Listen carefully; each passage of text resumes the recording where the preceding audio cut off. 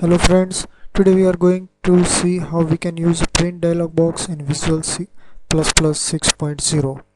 Here I have completed the program, so let us run and see it. Okay, here it is. If I click the button print dialog box, then it will show me the available printers. Right now I do not have attached any printers, so I have used one software called Qt PDF Writer that will convert my prints to PDF file. So it will be visible here me as a printer so I can select it. Once I can select a printer and apply a print then it will first display me the port the port that is being used to print. Second the printer it is a Qt PDF Writer the third one is a driver. Okay? Now let us see how this program works. Okay? To create a new project go to file new select projects select MFC wizard give your project name. You can give anything. Click ok. Then go next. Then select a dialog based options and then click finish. Once you do that you will see something like this. There may be two button and extra controls over there. Delete it and then select this button. Draw a button.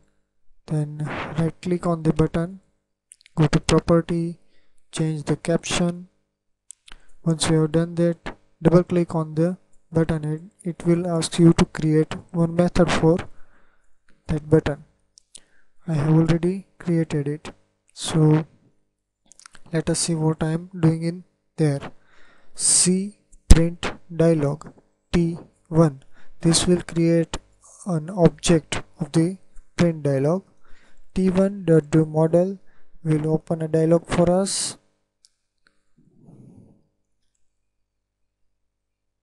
okay. If it's uh, open a dialog box then and written something then it's written id okay. And if it's written something then we are going to take uh, going to use some method of the print dialog object. And that method will return us few things. And we are going to show it in different message boxes. First of all t1 that is our object of the print dialog get port name will return us a port that is going to be used for printing. And it will be stored in s1 variable and s1 variable is a type of CString. We are going to uh, display this in message box.